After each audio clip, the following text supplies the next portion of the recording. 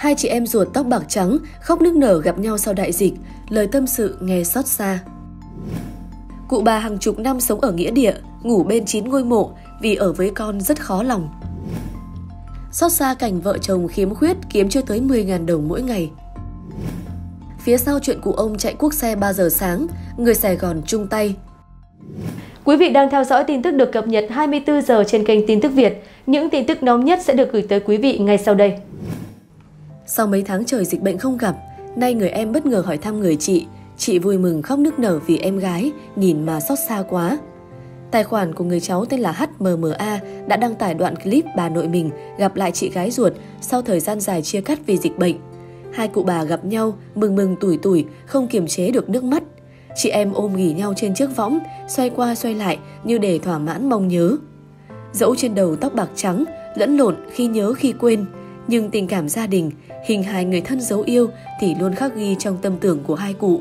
Cô cháu gái MA sau khi đăng tải đoạn video nhận được nhiều sự chia sẻ trên mạng xã hội cũng nói thêm Em thay mặt gia đình cảm ơn tất cả các anh chị cô chú nhiều ạ. Mình nếu còn người thân xin hãy quý trọng, đừng để sau này hối hận thì tất cả chỉ là muộn. Thấy chị khóc nên nội em cười an ủi. Đừng để người chị buồn, ai còn người thân thì hãy quý trọng nhé. Dịch bệnh đã lấy đi nhiều thứ, nhưng cũng khiến con người chúng ta biết trân quý nhau hơn, biết gìn giữ, coi trọng những phút giây quý giá khi còn ở bên nhau. Một số cư dân mạng bình luận, hai cụ bà sống đến từng tuổi này còn được gặp nhau ngày nào là một sự may mắn ngày đó, thế nên họ mới xúc động như vậy. Chúc hai cụ luôn mạnh khỏe, sống sung vầy hạnh phúc cùng con cháu. Thời gian khiến những lần gặp nhau ít dần, mình xa nhà, học ở thành phố, số lần gặp ba mẹ anh chị cũng chỉ đếm trên đầu ngón tay. Tết này nhất định về quê để thăm gia đình. Tình cảm gia đình máu mủ là như vậy đấy, xin hãy quý trọng thời gian bên những người thân yêu để sau này không phải hối hận muộn màng. Đó là một số bình luận của cư dân mạng. Xin được chuyển sang thông tin kế tiếp. Một mình sống giữa nghĩa địa với 9 ngôi mộ hàng chục năm qua, bà Nguyễn Thị Biểu, ngụ thành phố Tân An, tỉnh Long An, chưa từng sợ hãi. Men theo những con đường ngoại ô ở Tân An, tỉnh Long An, phóng viên tìm đến ngôi nhà của bà Nguyễn Thị Biểu. Gọi là nhà, nhưng đó chỉ là những tấm vách đơn sơ, mái tôn ọp ẹp mà bà được các mạnh thường quân góp tặng. Hàng chục năm qua bất kể mưa gió, bà vẫn sống trong căn nhà lọt thỏm giữa nghĩa địa này, nằm gối đầu lên chiếc phản sờn cũ. Tôi có 5 con đó, 5 đứa lận, đều đã dựng vợ gà chồng.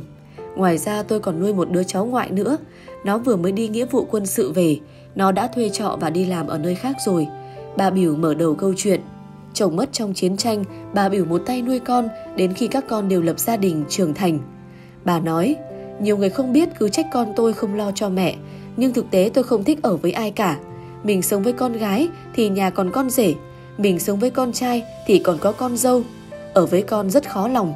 Tôi đã lớn tuổi rồi, sống một mình tôi thấy thoải mái hơn, muốn ăn lúc nào thì ăn, muốn ngủ lúc nào thì ngủ. Tôi mong muốn ở đây cho đến khi qua đời. Khi làm cỏ mướn được 10 năm, một ngày bà chủ nói với bà Biểu, hai chị dựng tròi ở đây đi, tôi cho chị mượn một miếng đất ở gần gò mã để sinh sống. Kể từ đó bà Biểu dọn về nghĩa địa này để sinh sống. Hơn 80 tuổi, bà Biểu vẫn giữ thói quen ăn trầu, tinh thần minh mẫn khỏe mạnh. Mỗi ngày bà rong ruổi khắp các con đường ngõ nhỏ để nhặt phế liệu kiếm sống. Khi được ai đó cho bánh kẹo, trái cây, cơm, bà để dành để làm thức ăn sống qua ngày. Đa số vật dụng trong nhà bà là nhặt được từ bãi phế liệu, khi thì được mạnh thường quân tặng. Thỉnh thoảng con bà Biểu vẫn ghé thăm mẹ. Tôi chưa bao giờ thấy buồn, ngày nào tôi cũng vái Phật trời phù hộ cho mình, cho những đứa con. Bà nói, trong ngôi nhà ọp ẹp, vật quý giá nhất của bà Biểu đó chính là di ảnh người mẹ đã khuất. Người ta hỏi tôi sống với ai? Tôi nói sống với má. Bà tâm sự. Dù ở nghĩa địa nhưng bà Biểu chưa từng sợ hãi. Đối với bà, người sống cũng như người chết, chỉ cần mình lương thiện, không chọc phá gì ai thì cứ bình tâm mà sống. Những ngôi mộ này là tổ tiên của gia đình bà Triều, ngụ thành phố Tân An, tỉnh Long An. Hàng chục năm qua, bà Triều đã cho phép bà biểu dựng nhà ở lại trên mảnh đất có mộ phần của ông bà tổ tiên mình. Tôi thấy bà ấy thì cũng thương, hàng ngày bà đi nhặt ve chai, được sấp vải nào thì luôn hỏi tôi rằng có cần không, bà ấy cho. Con đường được đắp cát, lót xốp là do tôi làm. Bà ấy lớn tuổi rồi, tuy còn khỏe nhưng tai đã không còn nghe rõ nữa, phải nói thật lớn thì mới nghe. Làm lụng được bao nhiêu tiền, bà đều dành cho con, cho cháu. Đối với bà ấy, đó là niềm yêu thương lớn nhất cuộc đời. Nhiều hôm trái gió trở trời, tôi cũng lo lắng cho bà biểu lắm. Gần đây bà ấy có điện thoại, nên cần gì sẽ gọi. Ngày qua ngày, bà biểu sống bằng tình yêu thương của bà con lối xóm. Nhiều đêm nằm ngủ, bà mơ thấy chồng về, nghe thấy tiếng gọi xung quanh. Bà cho đó là những âm vang của người đã khuất, nên không trả lời lại. Trong cuộc chuyện trò với những người ghé thăm, bà biểu nhiều lần bật khóc. Khi nói về đứa cháu trai, có lần vì về nhà thăm tôi bệnh mà lên đơn vị muộn, nó bị phạt hít đất. Tôi nghe mà thương vô cùng. Nó ở với tôi từ nhỏ, cũng mến tay mến chân, nói không nhớ sao được. Giờ đây nó đã trưởng thành khôn lớn, chuẩn bị xây dựng cuộc sống mới sau khi rời khỏi quân ngũ rồi. Hàng chục năm qua, có những lần bão táp, mưa như chút nước, hay có những đêm một mình giữa nghĩa địa giá lạnh, bà biểu chưa một lần thở than hay sợ hãi. Bởi với bà, việc sống một mình là để không phiền hà con cháu và để có một cuộc đời như mình mong muốn. Mời quý vị cùng chuyển sang thông tin kế tiếp. Trải qua những năm tháng thiệt thòi vì cơ thể khiếm khuyết từ nhỏ, nhưng anh Hưng và chị Yến cũng đã tìm được mảnh ghép của đời nhau. Từ khi có tổ ấm cho riêng mình, anh Hưng quyết tâm tìm học một nghề ổn định với mong muốn làm chỗ dựa vững chắc cho vợ. Đối với người bình thường, công việc đan thảm có phần đơn giản. Nhưng với anh Hưng thì là cả một hành trình vượt khó đầy nghị lực. Bởi vì hai chân không thể co duỗi, các ngón tay co quắp vô cùng yếu ớt, luôn là trở ngại đối với anh khi đến công đoạn siết dây cuối cùng. Để hoàn thành được một tấm thảm đạt chuẩn, anh phải nhờ sự tiếp sức bởi một cánh tay khỏe mạnh của vợ mới có thể đan được các mối dây không bị chồng chéo lên nhau. Dù công việc đan thảm rất vất vả, nhưng số tiền công nhận về cũng chỉ gần 10.000 đồng trong một ngày làm việc. Chính vì thế cả gia đình anh Hưng phải chất chiêu cho từng bữa cơm. Hai vợ chồng chỉ ăn vỏn vẹn ba cái trứng luộc cùng một ít cơm trắng cho qua ngày. Chỉ đến khi nhận được tiền hỗ trợ người khuyết tật theo định kỳ thì trong bữa cơm của gia đình nhỏ mới có thêm canh cùng một ít cá. Hoàn cảnh của anh Hưng chị Yến càng chật vật hơn khi dịch bệnh Covid-19 diễn biến phức tạp. Các cơ sở gia công sản phẩm thủ công đã tạm ngừng sản xuất. Công việc duy nhất kiếm ra tiền đã không còn, khiến cuộc sống của gia đình nhỏ lại thêm bấp bênh. Có những lúc không chạy tiền kịp, đôi vợ chồng khiếm khuyết phải nhịn đói nhiều ngày liền. Cảm thương cho hoàn cảnh khó khăn của hai vợ chồng, nhiều mạnh thường quân đã tìm đến để giúp đỡ.